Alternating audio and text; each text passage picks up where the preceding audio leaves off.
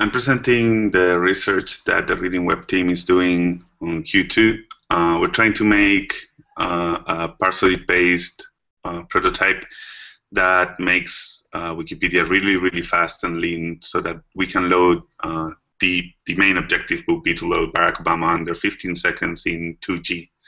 Um, so uh, it's in progress right now. We have a server that does all the aggregation and, and stripping from Parsoid, the same thing that the apps folks are doing in Android. And we have an HTML only version so that the people with really slow connections will be able to load the page. Uh, right now, we just we for the HTML only we have the lead section with a read more link, and that loads the full article. Um, so this is the the web app, but it does the same thing. It works on HTML only. Um, so also we are adding now the client side part.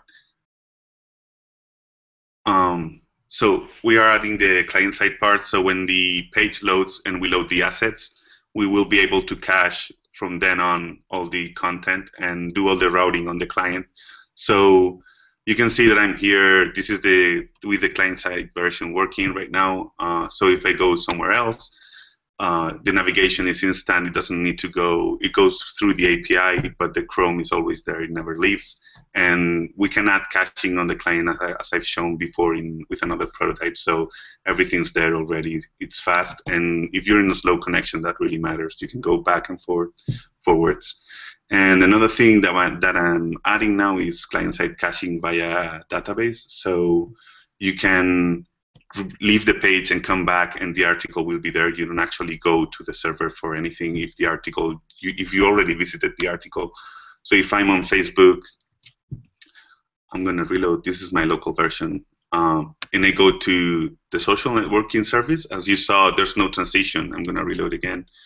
Uh, if I come here, the article's cached because I already saw it, and and it's instant. It didn't go to the server. That means we can cache, save the articles for offline reading on the web, and once we implement Service Worker or App Cache, we will have an offline web Wikipedia uh, for reading. Uh, there's still a lot more to do. So this is most of it. Uh, I think we can move on to questions for the rest of the minutes.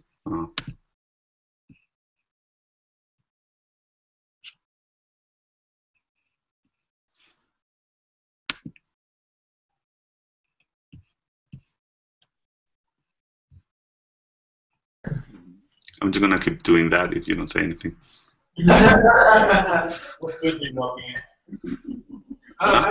What's next for the prototype? Is this something that we're looking to implement as infrastructure? Is something that's going to graduate to a feature? How are we envisioning this? So right now we're trying to solve the the hardest problems. One was server-side rendering, so that if you don't get the JavaScript or anything like that, you can work with the HTML-only version.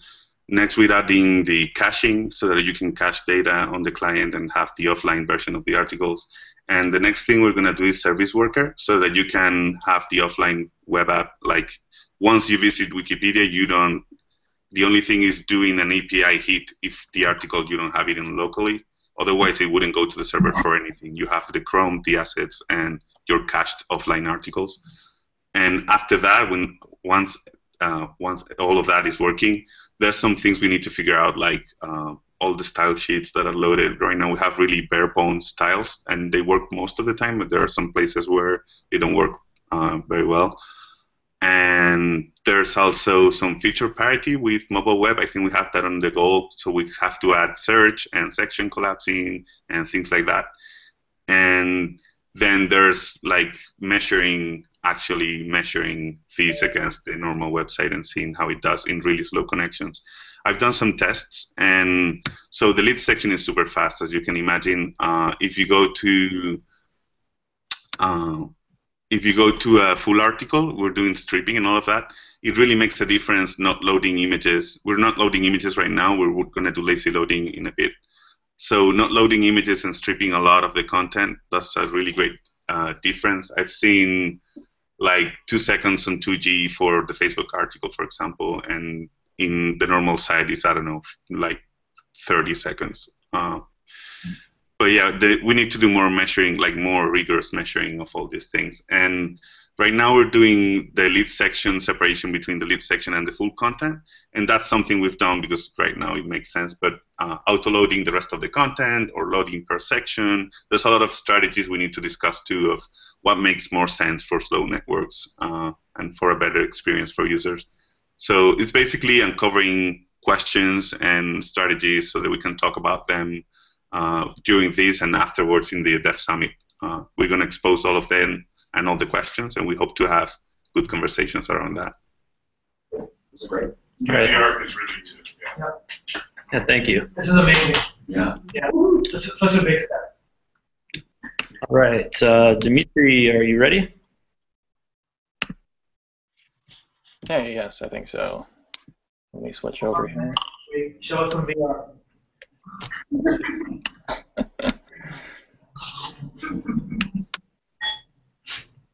So, yeah, in some of my 10% time, I've been revisiting the Wikipedia Lite app. Um, if you recall, I presented the beginnings of this at the hackathon in France, and I've just been slowly adding things here and there. And most recently, I just rebased the whole thing onto the current structure of our content service uh, and the current structure of the main app on which the Lite app is based. So once again, the um, the pitch of the Wikipedia Lite app is the fact that it renders the entire article without a web view at all. In other words, using only native Android text view components.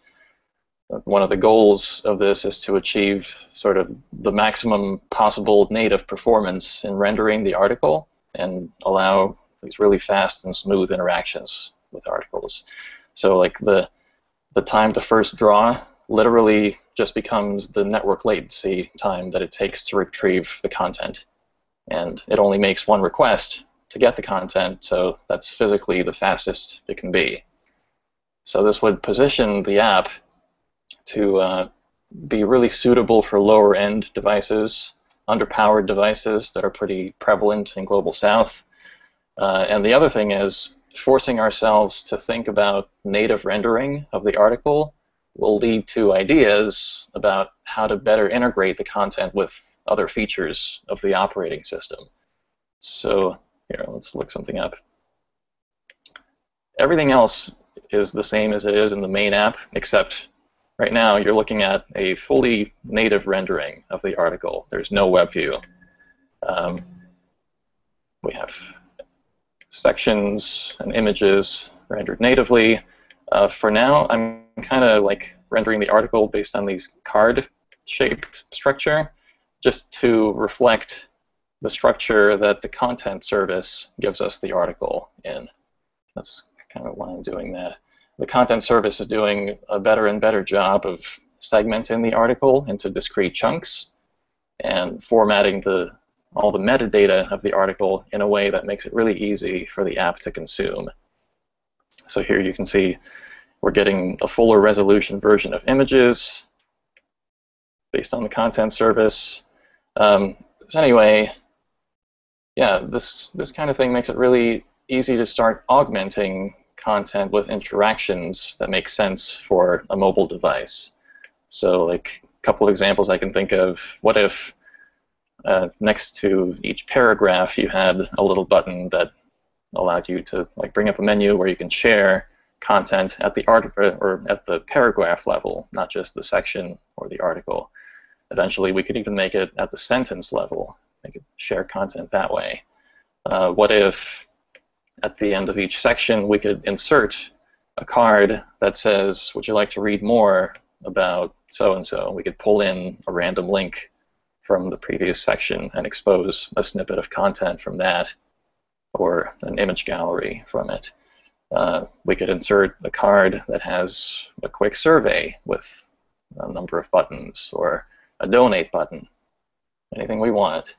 Uh, another thing that I did actually prototype already is if we go to an article that has a geolocation, that will be a good one. Okay.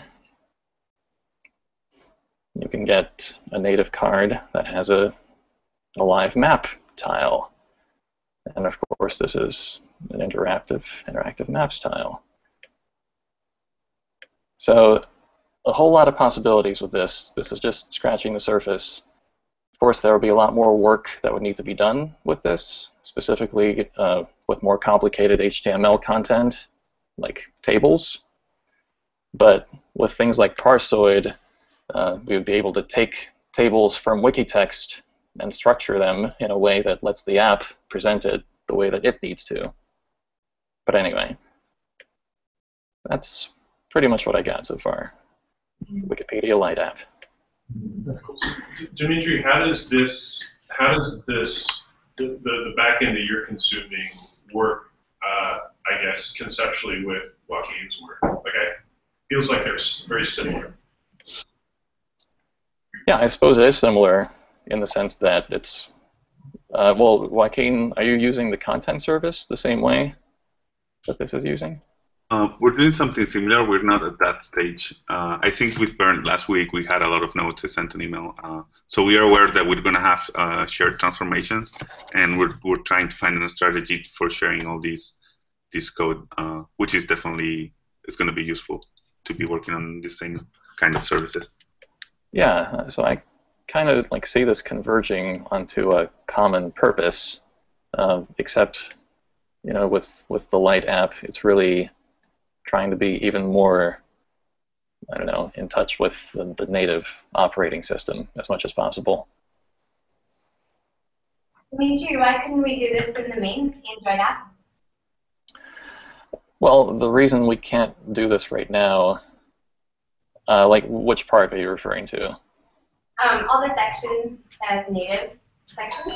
Oh, well, yeah, because a lot of articles contain much more complex HTML, like math formulas and tables and lists, things that don't really render well yet in native components. Is there a way to render all the text natively and all the more complicated HTML in the web view?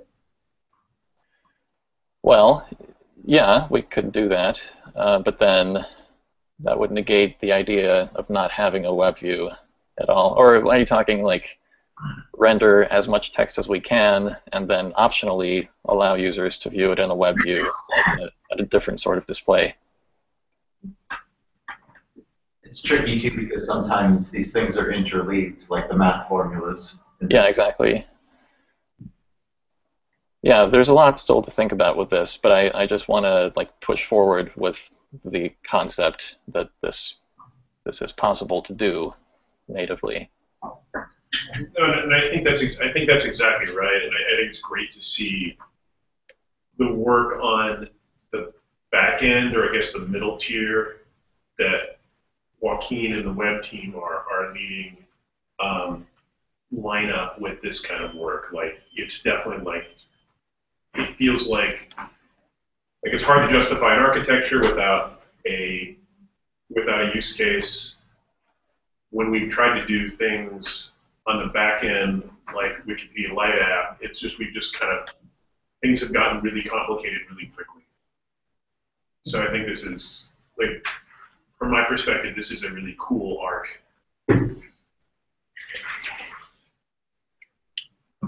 Okay, it looks like Moiz is up next. All right. Just a just a second here. Sure.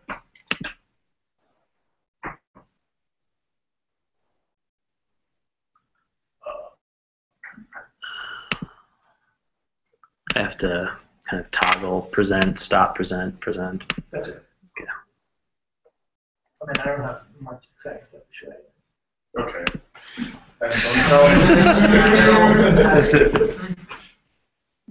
Um, hang on. Better be 3D. I know. Better be our presentation. This is the worst Okay, we're we're good. I presentation can- ever. I'm going to be showing a screen from Gerrit. I am not kidding. I am not. Yeah, yep. So okay, so uh, just a quick, just a quick update uh, on the portal stuff. So so we have now been successful uh, in moving the portal from Meta to to Gerrit or Git, uh, and uh, you know and, uh, and like you know the entire team worked on this. Uh, Julien, Jan, Max, Kevin, uh, everybody else, you know, that I'm not naming. Um, and, and it's kind of like, you know, the reason why I'm saying this, uh, and it's, and it doesn't look exciting, but it, but it is pretty cool because uh, it was a lot of community work in the background. Uh, there was, there was not that much technical work, but, but it was still, it's still a significant step for us to, to go that route to make any more improvements on Portal. So for example, today we are scheduled to, to put in the event logging for the first time in on the wikipedia.org portal page. So from so for the next, uh, so today we're going to launch that, and then the, the rest of the week we're going to be, uh, you know, measuring our, our very first baselines, right? Like how many people do whatever on that page, right? And then the next week uh, we are scheduled to to launch our first, uh, like you know, A/B test. And the first A/B test is not that big, but it's still a first and still a still a big step. So I just wanted to like give that a shout out. That's all. Cool. Thank you. Exciting, right, Gary? You, Yeah. can, you can all commit to that to that Gary project now. Yeah, you're welcome. Okay, cool. Uh, anybody have questions? So, yeah, is it, so is it, is this just holding the content there? Is this actually now an extension? Like we have a portal extension or? Julien, can you speak to that? It's, it's, it's just the content. Basically, the HTML and CSS JS was stored in a wiki template, and now it's stored in a Git repository. Now we're doing incremental updates, uh, improve the performance, and then later to have data logging and to do the facility test. Just gonna iterate on that. So the HTML does have the content of the page, but, but the content is not that much, right? It's just like links and like, you know, like numbers of like how many articles there are in different languages that we show, right? It's not that much content on that HTML page. But it was previously housed on Meta, but now it's not housed on.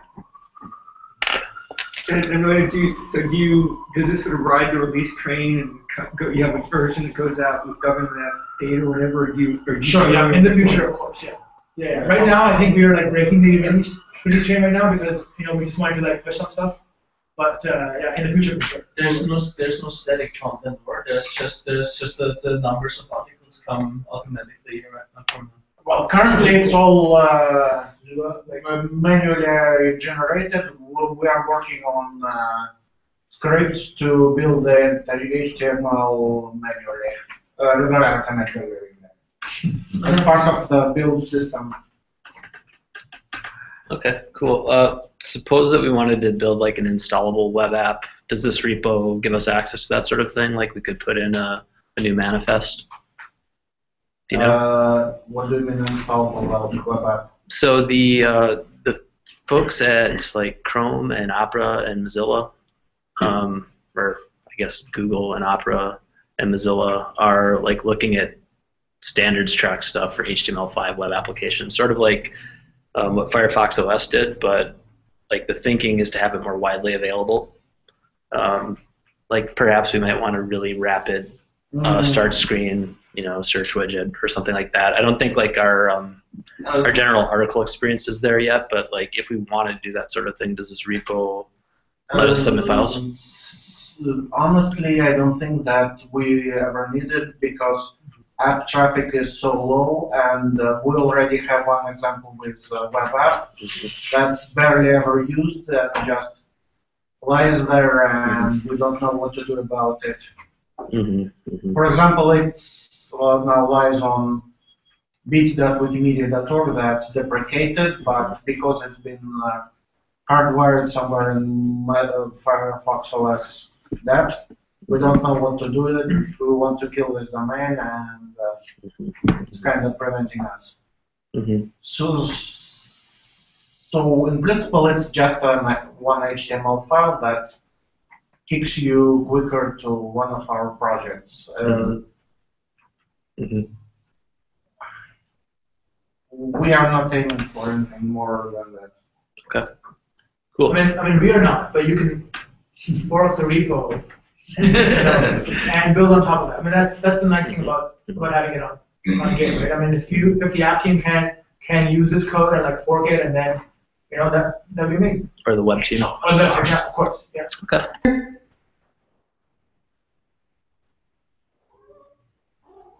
Erik, uh, can you hear us? I can hear you. Can you hear me? Yep. Yep. All right, awesome. So uh, one of the things we've been working on this quarter to uh, help support our language search goal is something called Relevance Lab. This is a way for us to uh, run a bunch of queries one way and then run them another way and then kind of compare the results and see uh, if it's different, if it's good, if it's bad, if it, if it does anything at all, and if we should continue going down that route. Uh, we're initially using these things for, uh, for language detectors or different ways of detecting the language, like uh, using accept language headers or using a library that, uh, that does some character set stuff or a library that uses dictionaries, that kind of thing. Uh, I don't have a great demo because I hadn't prepared this, but uh, this is just a quick show of, uh, of the of the, results that come out. This uh, obviously has three queries because I ran it real quick just a second ago. But basically, we can define a couple query sets. We basically use a an INI file that has a bit of configuration, two sets of queries to run. You can set up different configuration. Those configs are uh, they're basically just global variables to override. And uh, when you run it, it'll run both sets of queries. It'll give you, right now, we, it's got a very minimal uh, amount of information to it. One of the top ones we're doing right now is zero results rate because it's very easy to calculate.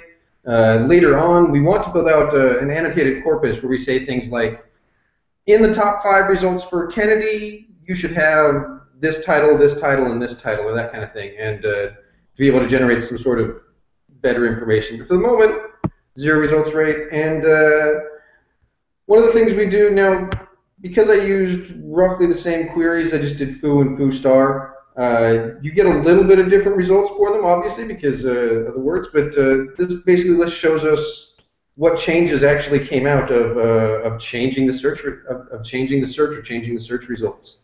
Um, so yeah, that's that's basically our relevancy lab. It's uh, it's fairly simple right now, uh, but we're hoping to expand this out in, in future quarters to, to give us much more information about changes that we're making to search rather than just kind of guessing and, and hoping that something is, a, is better or worse and, and throwing it out there. Uh, so yeah, that's, that's my presentation. Uh, any questions?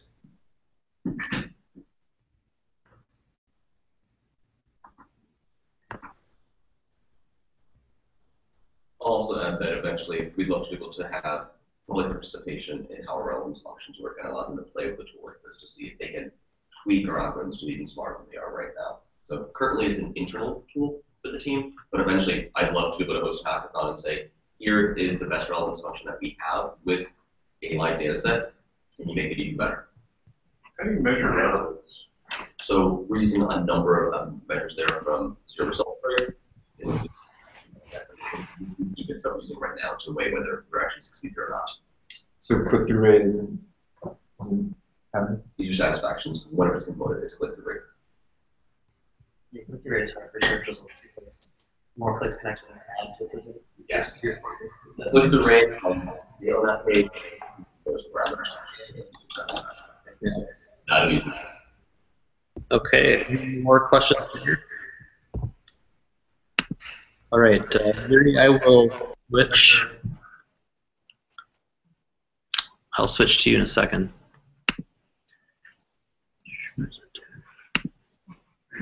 Can you hear me? We can, just a, a moment. Um, the present to everyone feature is requiring like a toggle on and off and on. It's strange. Will do. Yeah. Um, just a uh, not yet, Yuri. Is that legal?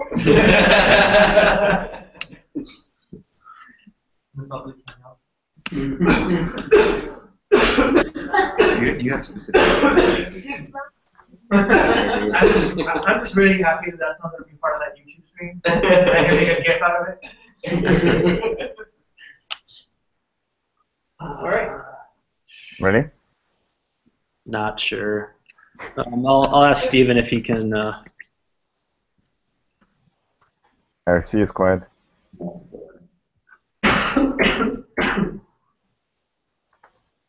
I'd say just get started, Yuri. Yeah. Go All for it. right. so a while ago, I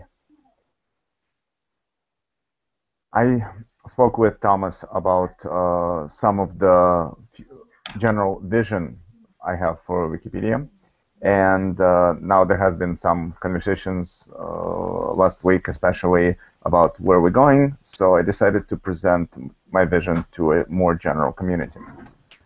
And so far, I've posted it to internal mailing list, but actually, I'm planning to post it to the external one as well. Uh, there has been some very active responses to it. I will post. I already posted the link to the text, but I'll screen share it as well so that everyone can see it. And ooh, there it is. Uh, I dream of content is what I called it, and basically, it's an idea a very simple yet very complex to implement vision idea that we as a foundation should move towards more interactive content, uh, a way where a user that comes to a page should not feel like they're watching a TV and get fed information like they are in school, but rather interact with it, play with it, just like in a hands-on museum. Remember that staff meeting we had about a year ago. That was amazing. Everyone went to San Francisco Hands-On Museum, and it was really hard to get people back into the conference rooms because they all wanted to go out and play with stuff. And I feel that we should make Wikipedia in that image, in that route. So I, uh, I covered the uh, concept of participants and not viewers, where you can play with things, you can toggle things, you can experiment with things. I uh, briefly touched upon data and how data is critical to the success of this concept, uh, and also uh, the concept of Wikipedia is one system. It's not a whole bunch of pages independently. And the idea here is that if pages are independent and not connected other than via simple links, then we do not capture imagination of the visiting public. And instead, we should make Wikipedia more like uh, active, active Facebook, where people just sit there for hours and keep scrolling through the friends feed or something like that. Uh, lastly, I uh, discussed briefly the fact that contributors tend to contribute in different ways, uh, and some want to contribute a little piece of data, others want to contribute an image, another wants to contribute a map and generate that map, uh, and yet another group of people want to contribute large essays. So we should uh, cater to all these groups and allow them all to be uh, not just productive, but contributing uh, and uh, beneficial to, to everyone. And now I'll take some questions. Oh, and last last thing, I also wrote from dream to reality, but that's a work in progress. That's the steps that I believe we need to take to achieve this dream. But again, this is open to discussion. There has been a lot of very positive. Um, whoops, I think I stopped my, my own presentation. That's not good. Um, that uh, uh, there was a lot of positive comments on the talk page and in the mailing list. So, but I would really love to hear negatives. I would like to hear some other constructive criticisms and suggestions. Thank you. Hey, Yuri, I'll, I'll just throw out that uh, one of the strategies that the reading team is taking on moving forward or exploring is having more interactive, more interactivity uh, on the on the website um, and apps. Um, our focus has more been around ways that users can like kind of engage with the content that's there in terms of like engaging with other users or reformatting, taking content and mixing and matching it, as opposed to some of the um, more exploratorium type uh, interactive graphics and stuff like games that you know you're proposing. But I think that the two are like incredibly compatible. Um, so we should just talk more about that. Uh, absolutely. I, I agree that b- both it should be the the system itself should be more like a game. Gamification of Wikipedia has been on people's minds for the past 15 years, I think, and also the content itself. Yes. So one of the so so I'm so I'm absolutely like like completely like in favor of this. That we that you know Wikipedia should be more interactive, more fun and, and playful, etc. Right, more hands-on. But one of the things that I that I uh, always get stuck with is that if we want Wikipedia to be that, then MediaWiki or whatever whatever the software stack is needs to needs to uh, needs to enable people to to make more interactive things, right? It needs to not just make like text content, like just like not just enable people to put in text content, but and photos, but also text content that changes over time, uh, photos that, that that are interactive, that, that change over time, graphs, etc. Right? And uh, and I feel like so so you know, and and if that is a vision, that's a very and I think that's a very good vision, then you know it's a very like it, it's a pretty big effort. And I think you know some of your work to make to make graphs, uh, you know, be more part of MediaWiki and you know, uh, you know, goes towards that. But I think it needs needs a bigger effort to to like you know for us to, to like get there, right? And I think this should be a really good thing to talk about uh, to talk about at uh, at the all at the uh, MediaWiki summit, right? I agree. Yes, uh, I actually spoke with Brian about this, and hopefully uh, we could uh, find some time to talk about this at the Dev Summit. Um, also, I agree that this is a big effort, and well, uh, so far, uh, I mean, I've been the only person working on graphs for, for the past for for, for a while. there was only realistically two people very actively working on maps. And so yes ob obviously there's not enough hands to to reach all these dreams by ourselves. Um, one thing I do hope to achieve though is that um, it should be possible for community to implement some tools that are more easily integratable into our editing environment so that if someone comes up with a good tool, they don't need to make it a production level and yet they can still offer a way for community to contribute that content, like 3D animations that would some way for the we only would support playing that 3D animation, but the editing part can be kind of done by the community or this kind of stuff. I think we had one question, and then I wanted to ask before that though. Um, I see a, a, bullet point for graph extension improvement. Is that something someone's going to present? Yuri, was that maybe you? I did not plan to okay. present this. I oh. mean, yes, it is me, but I wasn't planning to present it today. It's, I guess it's uh, Julien. Okay, so uh, I think the question was from Tilman. Did you have a question? Oh, you asked on IRC. IRC, IRC, oops. What do you think is the easiest to realize? It's a pretty big vision, right? And it has a pretty high price tag, I guess. So, the easiest, uh, the lowest hanging fruit right now that uh, is to bring ve uh, animated Vega graphics to Wikipedia. That will, I mean, this is my work in progress. I should be done with it within the next few weeks, time permitting. Um, so that that should already introduce some animations and semi-interactive features. Actually, Julien was amazing help uh, the other day uh, contributing to graph extension. Uh, we're, we have been trying to make it more switchable from static into a live mode and I think that's what Julien wanted to present. Okay, cool. Uh, Julien, I will switch yeah. to. I'm sorry. Go ahead. Um, well, it's really more of a comment, I guess. I mean, it seems like people you can already do all kinds of cool things using gadgets in SVG, but I think, as you remarked, it's you, you know you have to kind of load these gadgets. The tools are kind of know, uh, hidden in people's personal scripts or whatever. Um, so I don't know what the solution is, but I mean, I just found trying to trying to just have some annotated uh, elements in a picture on MediaWiki was just brutally hard. I basically couldn't do it, and yet clearly people, you know, can do. There are all kinds of cool demos. So I, it seems like a big piece of this is just getting the, the scripts and gadgets sort of more known and more easy to use. But I'm sure you know that. Well, there's there's a lot of uh, uh, things that community has been able to do in a very hacky way, unfortunately.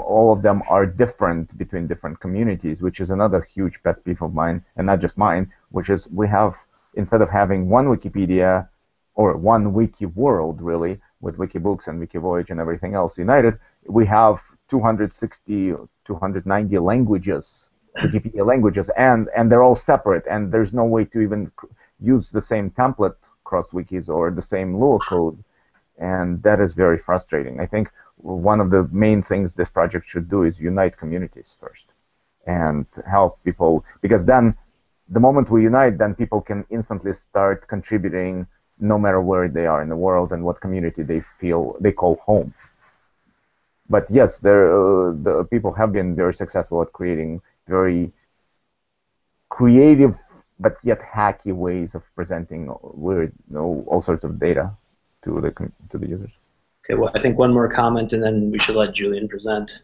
Yeah, um, I just wanted to call out that um, actually in the office this week is the GSOC student who we've given a contract to who's working on the visual editor integration draft to create and edit graphs directly with the visual editor. Um, sorry? Louder. Louder, yeah. Sorry. yeah can you can you move just a bit closer to adam maybe Uh, really hard to hear you Yeah, I just wanted to call out. You should probably talk to Frederick.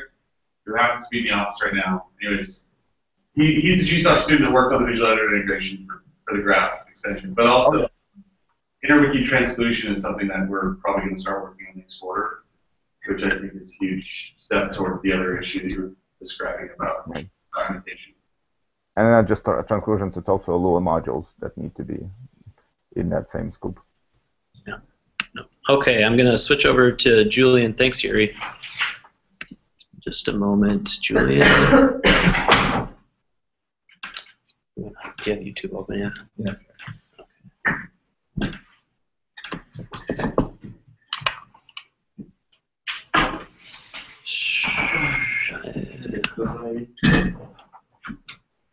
Alright, so I just want to do. Just, just a moment, Julien. Sorry, we have to do this toggle thing again. Um, Turn it off. Everything's behind. yeah.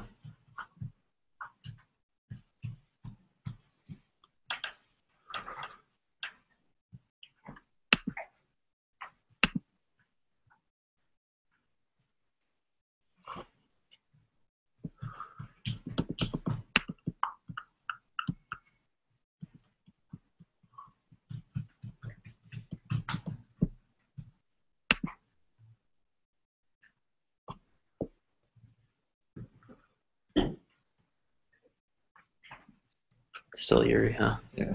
Well, he's still talking. Trevor's still talking. Oh, still talking. Okay. Yeah, we've got this minute lag. Yeah, I think we may need to consider a different uh, tool for this. And we can always uh, export it to YouTube later. Okay, it's on. So it supports It's on. MP4. It's on. Okay. All right, Julien. Okay, so this is just a front-end improvement that I've done for the graph extension on my 10% research time. Um, something that I started uh, on almost my first day with, with Yuri, so I'm quite excited to work on that and to help on that. Um, but the challenge that uh, Yuri had and, and wanted to do is uh, basically uh, we either render a, static image or we render the interactive graph with the JavaScript libraries. Uh, in, in order to that, you have to load d3.js, you have to load Vega. Uh, those are pretty big libraries, and on a very slow connection, it can take a lot of time to actually uh, render the graph, and so end up in, in not a good user experience. So uh, the suggestion from Yuri is to have basically three modes, and the first mode would be static. Graph is always an image. The second mode is click to interact. Graph starts as a static image, but can be clicked, and when you click on it, when you click on it, it turns it into an interactive graph, and it loads the JavaScript libraries only at the time. Otherwise, you can uh, choose to always render interactive. In that case, you have to uh, load the JavaScript libraries on the first page. Um, so in practice, what that does, um, so you can put body for, equals static, and obviously it's it's just a static image. And now you can. So right now we have only two modes, and that's why your suggestion was to have like a click to interact and always interactive. Uh, but randomly, if I put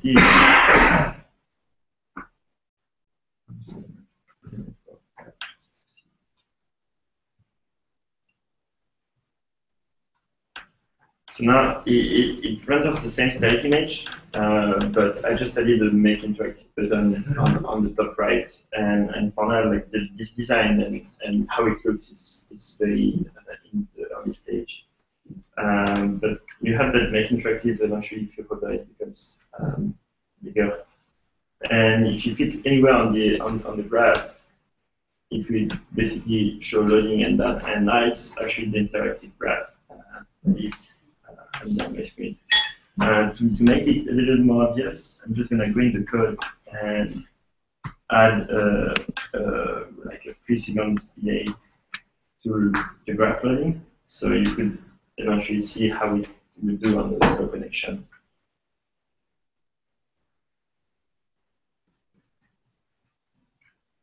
So that's. Basically, like during the, the, the three seconds of loading, just a little loading message on that it's very static, and, and we can obviously iterate on, on all that styling.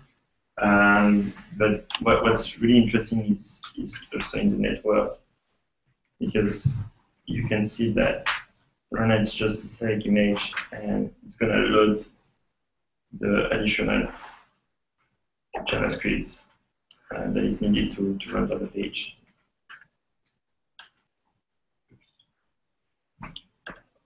All right. Uh, so there are still some improvements that we do. Um, we actually like uh, have the all the data of the graph on the first load, and we don't need that. So we should make a probably an API call when you click on the graph to first get the data of the graph and to then later render the graph. Uh, so still a lot of improvements uh, to do, but just a step forward that I wanted to, to show you.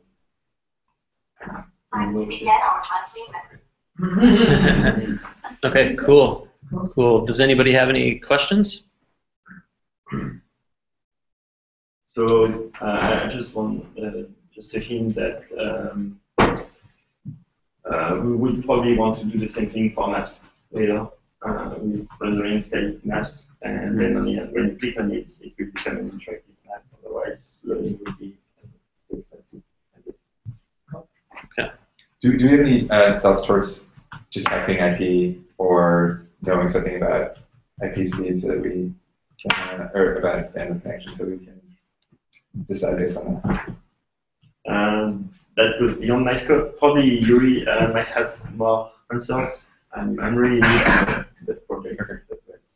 So there's a uh, there's a um, MaxMind library that I believe Oliver has built a wrapper around that you can actually use to see what kind of connection um, the what kind of connection that the library thinks that IP is IP has.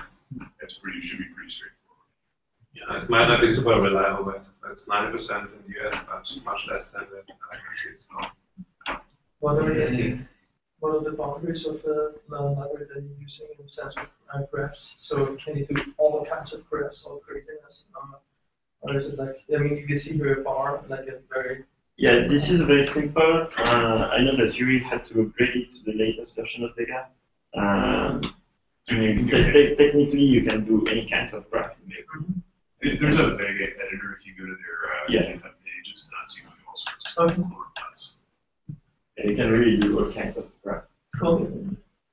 So, so this is really cool. I'm just like, and I, this is like a bigger general question to like, to like everybody in this room. Like, like how do we think we can we can like get users to make content right? Like, how can we like how can we get our editors to make like not just graphs but like interactive graphs, right? Because we're basically asking them to like to like be these like interactive designers now right? You know, figure out like interactions on, on these like little like you know widgets, right?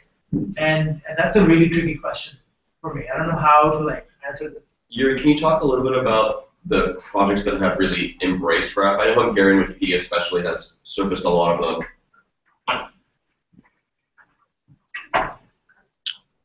I think Yuri actually dropped off the line. I think there's not really like like I don't think we have to solve this problem universally. I don't think every editor needs to be able to create interactive graphs. Yeah.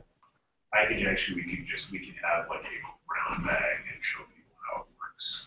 Maybe have an editathon or something because it's like remarkable how much work is done by how few Yeah, yeah, yeah. So from from my from my personal experience with uh, being a contributor, um, what helped me a lot, I want to do all kinds of crazy stuff. If I have like a if I have like a template that was like the big first step. If I if there's some, a best practice or so, I'm like yes, okay, and now I can do I can copy that and, and remix it. For sure. So, so like better documentation, like data and developer hub kind of thing. But I think the template thing is crutch. Like We're, we're, we're at time, although let's let's wrap up. And I think Curry has, like- Curry has one comment The, the well. reason that people use templates, which is great, is for uniformity, which is exactly what you said. Okay.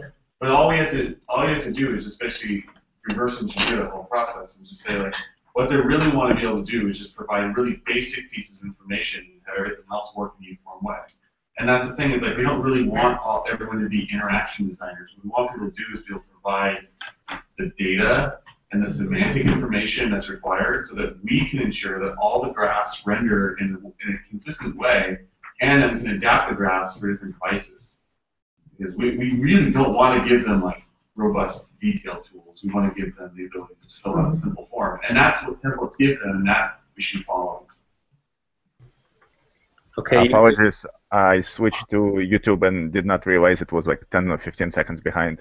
so uh, I, at the moment I heard Yuri, I switched back, but then it's like, oh wait. Uh, anyway, um, so uh, I, I overheard that um, I didn't hear the last 10, 20 seconds of conversation. Um, I understood that um, yes, the templates I think is the way to solve the um, the inconsistencies between graphs. There will always be uh, very tech-savvy users uh, in the community that will design prototypes for complex graph interactions, and then there will always be users who do not know programming as well, who will just want to supply specific data for specific use case for specific articles, and they will fill that graph. Uh, this has already happened actually. The German Wikipedia um, developer created um, uh, community developer. It created uh, a template for very complex charts and um, made it as a template with tons of different parameters, and users have been using that to simply insert what's needed. As far as interactions, uh, well, there, first of all, uh, uh, there's also complex Vega tools to draw graphs, to like design graphs, and I think we should we should we should work on build bringing them to WMF labs uh, and integrating them somehow into an editing process where community members can easily go there and use those tools to design graphs. And uh, lastly, um, there, the um, animation is also something that will be available soon. And I think uh, for that, again, you'll need a developer-like mindset to set it up, and then community will fill them up. I hope I answered any of the missing questions. Yeah, and I, I think that was really helpful. Thanks, Yuri.